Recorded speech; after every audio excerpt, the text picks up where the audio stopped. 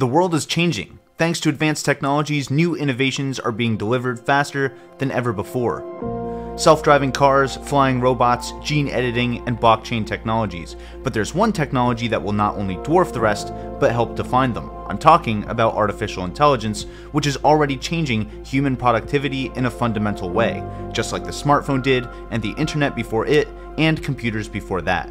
We need to talk about this idea today because we can invest in this idea today, and AI could unlock over $80 trillion in economic value by 2030. That's trillion with a T. So, in this episode, I'll highlight some of the latest investing research on artificial intelligence and show you five great stocks of companies that are winning in this market right now, one of which hasn't even gone public yet. Your time is valuable, so Let's get right into it, starting with the supercut of ARK Invest's latest research on artificial intelligence, as presented in their 2022 Big Ideas Summit.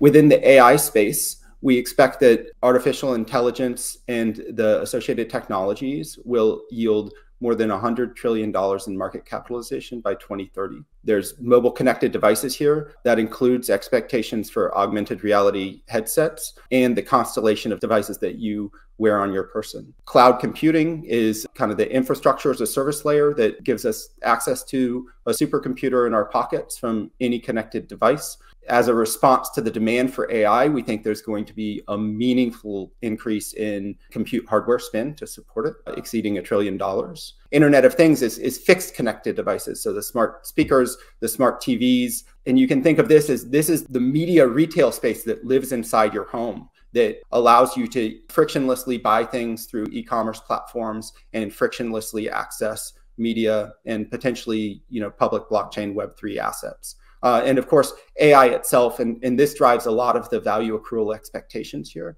The value accrual is predicated on the fact that the advances in AI suggest that it's not going to be considered uh, artificial intelligence, but instead augmented intelligence, where every knowledge worker will become more productive, every software engineer will become more productive, and the um, productivity value that we anticipate spilling off AI will actually meaningfully exceed the, the revenue that AI software companies will capture. The less expensive a technology or innovation is, the more people have access to it.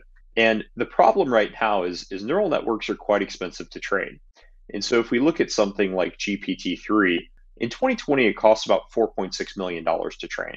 But with cost declines, it's becoming much less expensive. And so as cost declines, we're seeing more access and creating more availability for organizations like universities and nonprofits. At the other end of the spectrum, well funded organizations like OpenAI are able to continue pushing the boundaries of what's possible in terms of model size and performance. So just to put this into, into context, GPT-3 cost about $4.6 million to train in 2020.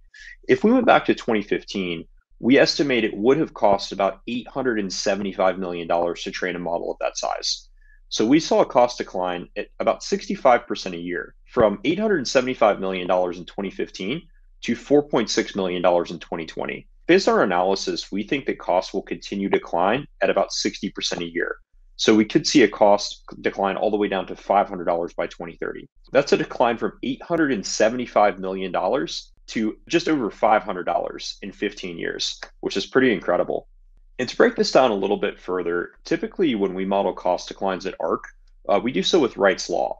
So we conducted two different studies to model cost declines in AI. The first is the cost of compute.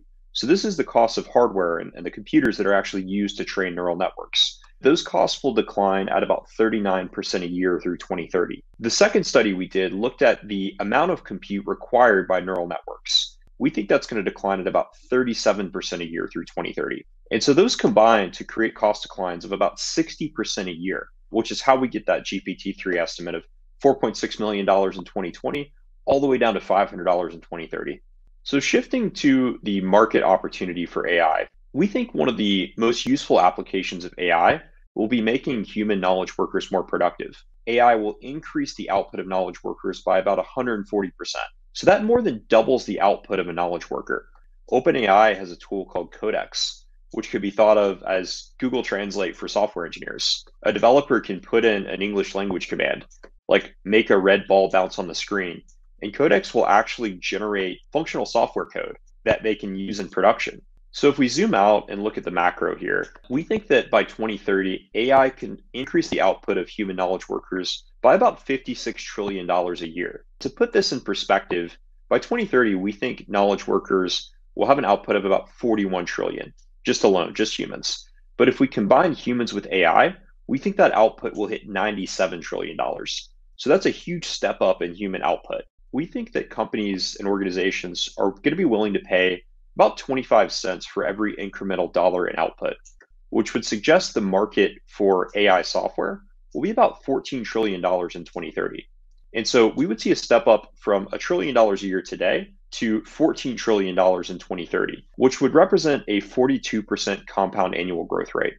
So the demand for software will likely drive a demand for hardware. The more models that we have and the larger these models become, the more compute we need to actually train these models. And so we think that the market for compute for AI will increase from about 17 billion today to about 1.7 trillion dollars in 2030.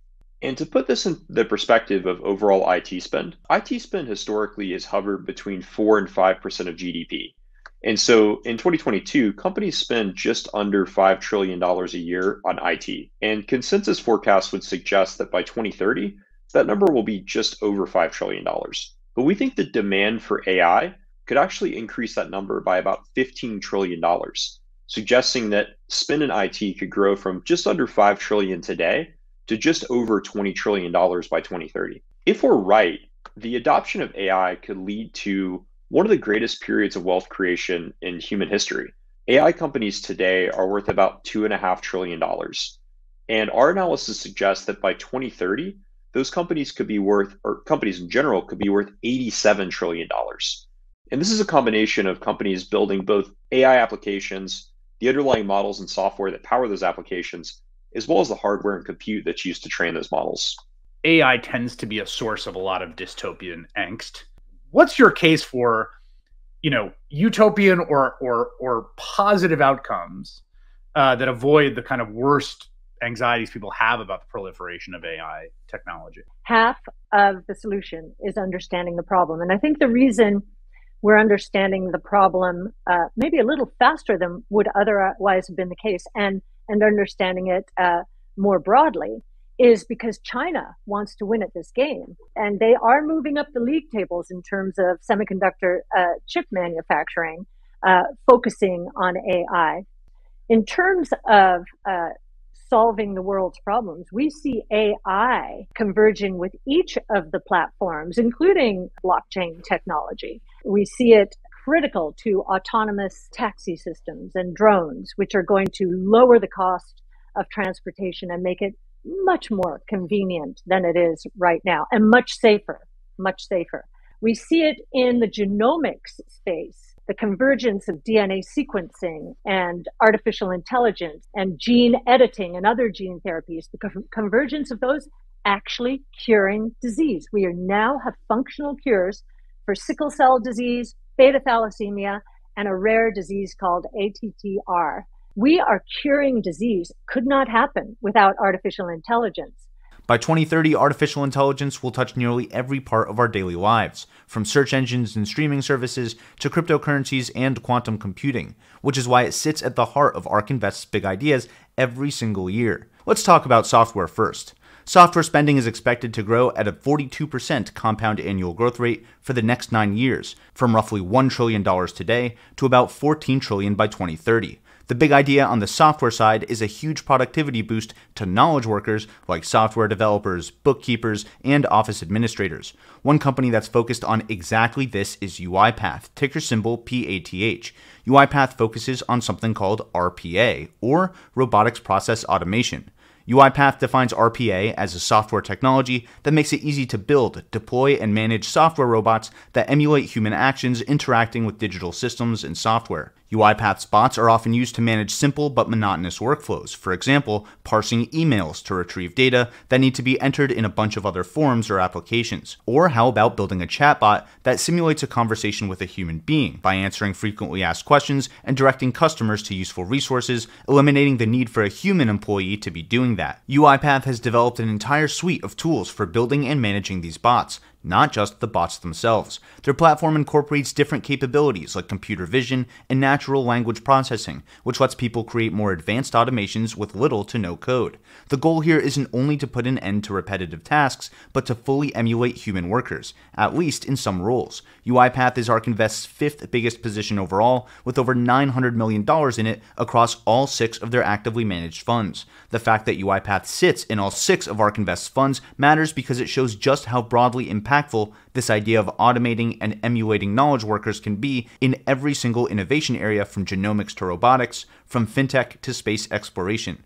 The only other stock inside all six ARK Invest funds is Palantir, ticker symbol PLTR, and I believe it's for the same reasons. Palantir builds advanced data analytics platforms for the government and other large institutions, many of which tend to have a hard time with big data because they were built well before the world went digital. To help them, Palantir software automates several key big data challenges like transporting, transforming, storing, securing, analyzing, visualizing, and predicting trends in that data. And that's just for starters. Palantir focuses on rapidly digitizing their clients' businesses to make data a part of their foundation, allowing them to interact with their digital twin. Then Palantir helps people make insights based on this new foundation through all the other cool decision support tools their platforms offer search, analytics, modeling and simulation, artificial intelligence, visualization, reporting, and so on. Palantir has been aggressively moving down market to medium sized commercial businesses through their SPAC investments as well as their Foundry for Builders program. By partnering with companies across a wide variety of verticals, Palantir has come out with automation and analytics solutions for anti money laundering, artificial intelligence and machine learning, automotive and mobility, supply chain management, cryptocurrencies, financial services. The list goes on and on. The things all of these very different industries have in common is that they're using lots and lots of data from lots of sources to make high level decisions. That's the need that Palantir's platforms address. Palantir is ARK Invest's 18th biggest position overall, with just under $400 million held across all six of their actively managed funds. If you're interested in seeing my deep dives on Palantir, I've put them all in one convenient playlist for you, which you can find in the top right hand corner of your screen right now and in the description below as well. When it comes to artificial intelligence, software is only half the battle, and demand for software will drive demand for hardware. ARK Invest expects hardware spend driven by AI to go from roughly $17 billion today to $1.7 trillion by 2030, implying a whopping 67% compound annual growth rate over the next nine years. In my opinion, if you want to find a great company that does amazing work on both the software and hardware side of artificial intelligence for knowledge workers, you can't go wrong with Microsoft. For software and services, Microsoft has things like their Windows operating system, Skype, GitHub, LinkedIn, and of course, their huge suite of Office tools, including Excel and Exchange and Project and Access. I'm pretty sure half of everyone's job is done using Microsoft spreadsheets and email, and the other half is done by copying code from GitHub. That's a joke. Probably. Microsoft also has a suite of AI tools and intelligence applications aimed specifically at knowledge workers, process and workflow streamlining, data visualization packages, scheduling tools and integrations, on and on and on. On the computing infrastructure side, Microsoft Azure is one of the biggest cloud computing services available with data centers all over the world. I get it, you already know a ton about Microsoft. Heck, it's the second biggest company in the world by market cap. One thing you may not know about Microsoft is it's just one of five organizations authorized for mission critical national security systems at impact level 5 by the US Department of Defense. The other four organizations that can touch systems at this level are Oracle, Project Hosts, DISA, which is the Defense Information Systems Agency, and Palantir. That means Microsoft's Azure infrastructure can really handle any kind of situation and network configuration. And that's not getting into any of Microsoft's software or hardware focused on gaming with PCs or the Xbox. Microsoft is currently working to acquire Activision Blizzard for a whopping $69 billion, which would be the biggest technology transaction ever in the US. If that acquisition goes through, Microsoft would own some of the biggest gaming IPs on the planet, including World of Warcraft, Call of Duty, and my favorite, Candy Crush. Speaking of acquisitions, just a few days ago, Nvidia's bid to acquire ARM from SoftBank for $40 billion collapsed after regulators around the world raised concerns. ARM is a British semiconductor company that designs chips used by Apple and other huge mobile device makers. In their Big Ideas 2021 report, ARK Invest predicted that by 2030, as much as 71% of data center processors could be using ARM based architectures by 2030, seriously disrupting Intel's x86 architecture, which is the standard today. ARM could also power the majority of developer PCs by 2030 as well. For example, Apple has been designing their own ARM based M1 chips since late 2020. This gives all of their product lines a common computing architecture. At the same time, Microsoft is working to support Windows on ARM processors, not just x86. Now that the Nvidia ARM acquisition isn't going through, SoftBank plans to IPO ARM by the end of the first quarter of 2023. So, about a year from now. So go ahead and add ARM to your pre-IPO watchlist and keep an eye out for which processors are making it in to new server solutions. Now let's talk about Nvidia. Nvidia's GPUs have revolutionized high-performance computing as well as the mobile computing markets. Their impact extends way beyond high-end graphics for video games. Nvidia has long been developing solutions for machine learning, data analytics, and conversational AI, which is powering revolutionary breakthroughs in areas like speech recognition software and natural language processing. They also build their SuperPODs, which are their commercially available supercomputers designed specifically for artificial intelligence tasks, as well as their DGX workstations, which are their server solutions for data centers. In my opinion, these machines or machines like them will also run a serious portion of the metaverse or whatever the next generation of the internet will be. On the software side, NVIDIA's Omniverse initiative is a scalable, real time development platform for collaborative 3D design and simulation. At the foundation of the Omniverse is Pixar's open source USD, which stands for Universal Scene Description. This layer allows large groups of people to work simultaneously across multiple software applications on a shared 3D scene, whether it's an automotive factory floor or the set of a movie. NVIDIA's Omniverse is an ecosystem of development tools and assets that grows whenever a partner adds functionality to it via a third party plugin or connector. For example, Apple, Pixar, and NVIDIA have collaborated to bring advanced physics capabilities to USD. NVIDIA and Adobe are collaborating on a Substance 3D plugin that will unlock new material editing abilities for the Omniverse and Substance 3D users. The list goes on and on, but the point is that this Omniverse ecosystem is already connecting leaders from every industry to be more than the sum of its parts, which means it'll gain all sorts of customers and use cases in the future. Talk about enhancing productivity of knowledge workers. So, there you have it. Hopefully, this episode helped you understand some of the latest market research around artificial intelligence, specifically the huge $100 trillion opportunity for enhancing human productivity over the next decade, as well as a few great software and hardware companies that are working on the bleeding edge. If you're just looking for quicker insights every day, I'm always posting new content on Twitter, Instagram, and TikTok. Yes, even TikTok. So go ahead and follow ticker symbol You wherever is most convenient for you. High tech growth stocks like these have been incredibly volatile lately. If you want to know more about this area of the stock market, check out this video right here. If you want to learn more about ARK Invest's big ideas and their market research, this video will give you a lot of bang for your buck. Either way, stay long, stay strong, and thanks for watching. Until next time, this is ticker symbol You. My name is Alex, reminding you that the best investment you can make is in you.